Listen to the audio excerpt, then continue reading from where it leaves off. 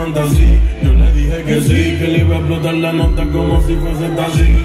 A tu novio dile que yo me sé tu pose favorita y que él no vive así. No entiendo por qué solo